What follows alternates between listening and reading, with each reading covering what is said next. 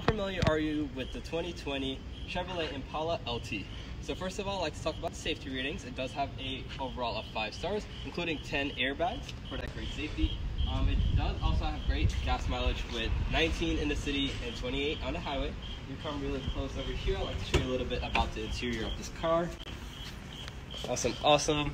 Another great thing about this car is it does have that awesome Chevy warranty. It does have that five year, 60,000 miles on that powertrain, and also three years, 36,000 miles from bumper to bumper.